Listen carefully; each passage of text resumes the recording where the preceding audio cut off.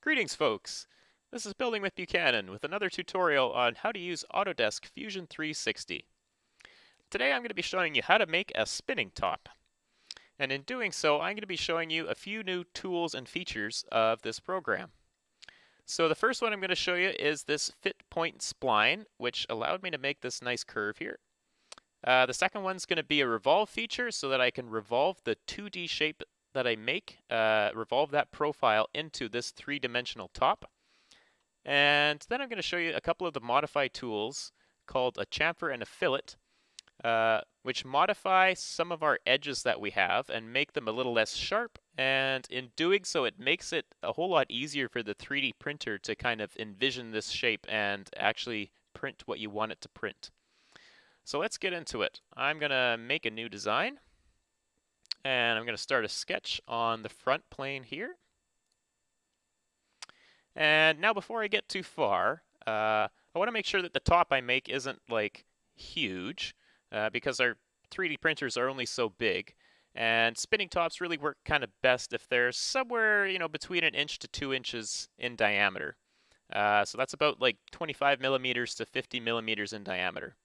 So I just want to make one half of this top and I want to make a little box around the outside bounds of how big I want this to be. So if I want it to be a maximum of 2 inches or, or 50 millimeters in diameter, I'm going to make a box that's half that distance, 25 millimeters wide. I'm going to go up, I don't know, say about 60 millimeters or so. It should be good. Uh, now, once again, I can find exactly the point of where I want this to be, or I can just type in 60 tab 25. Now before I hit enter, you're going to notice that there's a little lock symbol beside these two numbers. So when I do hit enter, what I've now done is basically locked these sizes in.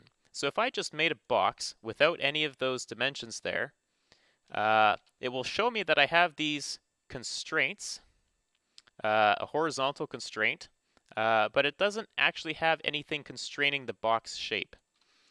Uh, so a little later on, if I wanted to modify this box or I wanted to add something to it, or let's say that I wanted to cut this corner off, it might give me an error message saying, hey, you're messing with this dimensional constraint that you placed on this part earlier, and you're going to have to deal with that when that comes. We'll talk more about constraints later because constraints are a pretty amazing function in this program, but it's a little bit more of an advanced function, so we'll save that for another video.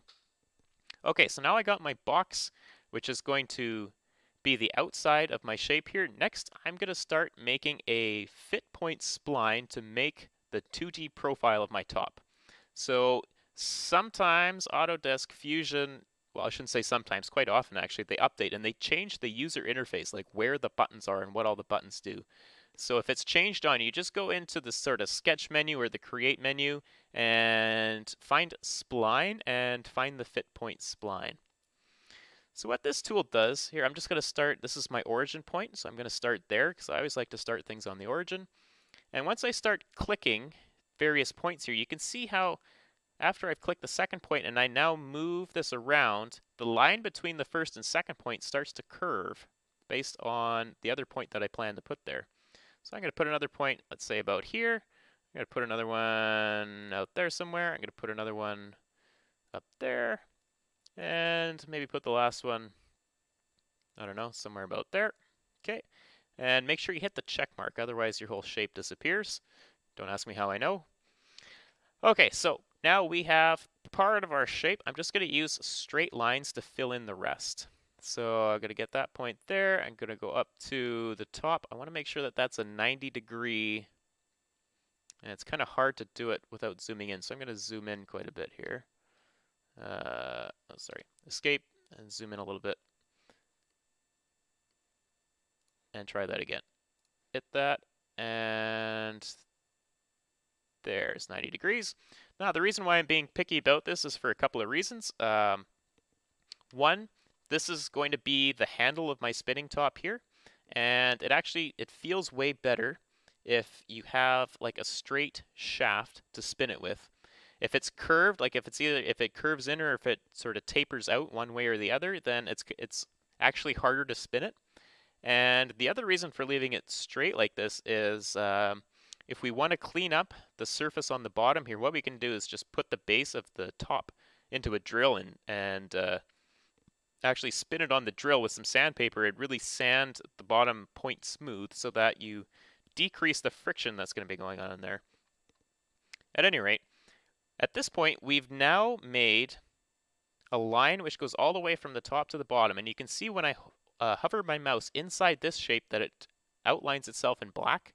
And when I hover my mouse over this shape, it hover it uh, highlights itself in black. So I'm finished my sketch now. So I'm going to hit Finish Sketch.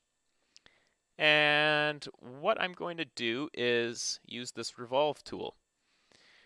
So the Revolve tool revolves around some kind of axis. So because I used my origin point here, this line as uh, my halfway point, I'm going to be using that as the axis that I spin this profile around. So first off, it asks you to pick your profile. If I pick the wrong part, like let's say I picked that profile and picked that axis, we would end up with, well, like a cylinder, kind of like a cylinder, but we end up with this kind of bulbousy upside down, inside out top part in there. All right, so I don't want to select that profile. I'm going to go back and click that, or hit the X mark, sorry, to get rid of that. And I'm going to select the right profile, which is this part that I made here. All right, and hit OK, and voila, we got a top. Now, this works, uh, but I'm thinking that I might want the the holding shaft to be a little bit thinner, and I'm, I kind of want this outside part here to be a little bit wider. So I'm going to go back into my original sketch and change a couple of things. So, oh, that's fun. It took me to the back view. I don't know why. So I'm going to flip that back around to the front side view just to keep this less confusing. Now, if I want to make this a little bit taller, what I could do is just sort of click and drag some of these points here and just well, keep going until I get the shape I want kind of want it to be a little lower to the ground, so I'm going to pull these a little bit further down. Maybe that one a little further down. Maybe that one too. I don't know. I want it to be a bit bigger too, so why not? Something like that. And this one I actually kind of want it to be a little further in. Now you notice how, because I have this here, perpendicular constraint, which I didn't have to put in there, it automatically figured out that I wanted that perpendicular constraint. It's pulling that whole line with me. So this program in its hierarchy of how it can figure out what you want, uh, that's where the constraints really shine. Uh, because there's this perpendicular constraint here, this line will always be perpendicular, which means 90 degrees to this line up here, no matter pretty much where I want to put it. So I'm going to make it, eh, let's say something like that. I don't know if I actually changed it much, but that should be good. Okay, finish. Now, I guess it's kind of hard to tell, but we did make it a whole lot more round than it, it I think the center of gravity got a little bit lower. Okay, so like we got the basics of a spinning top here. This would be a pretty good top. Uh, there's just a couple changes I want to make to it. Uh, first off, to make it spin a little bit better, and second off, it's kind of hard for a 3D printer to figure out what this tiny, like infinitesimally small point is. So I'm going to be doing a couple little features here called the fillet and the chamfer.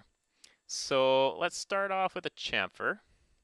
And what I want to do with this top edge up here is just give it a little bit of a 45 degree angle. So if I give it a chamfer of 1, what a chamfer is, is, is just like a straight 45 that comes, uh, basically just cuts off the corner.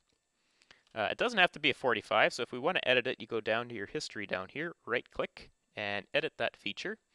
And maybe instead of doing an equal distance chamfer, I want to do a two distance chamfer and we'll keep one millimeter, maybe the other one's two millimeters. That makes a whole lot more shallow of a chamfer, or let's say I want to do 0.5 millimeters. Oh, that makes it rather steep. Um, I want to go back because I don't actually want to make a chamfer here, so I'm just going to delete that feature. And instead, I'm going to make a fillet. So fillet and chamfer, they're in the same little part here. Fillet's more common. Basically, it's the same thing, but it's just a round over. So if I do a fillet of one millimeter, we get this nice little round bit here. So why is this important? Well, as you're spinning your top and your fingers release from it, it's nice to have uh, less material just on that top little edge. Otherwise, the 3D printer actually on the top layer, it makes like a bit of a, a lip, uh, like a little bumpy part which sticks out, uh, which isn't all that good when you're trying to spin your top. Okay, almost done. I just want to do one more thing now too though. This point here, we can zoom in and zoom in and zoom in and zoom in. And we can pretty much just zoom in forever because this program can pretty much zoom forever. Um, here's the thing though, the 3D printer, the extruder which like extrudes the filament out can only really do like about a half a millimeter thick of an extrusion. That's as small as it can go. So when we tell the machine to figure out how to 3D print this thing, it looks at this tiny point down here and says, uh, I don't know, maybe a dot, maybe a tiny circle, something like that. So let's make that decision easier for the computer. We're just going to uh, dullen this point just a little bit just to make the 3D printing easier.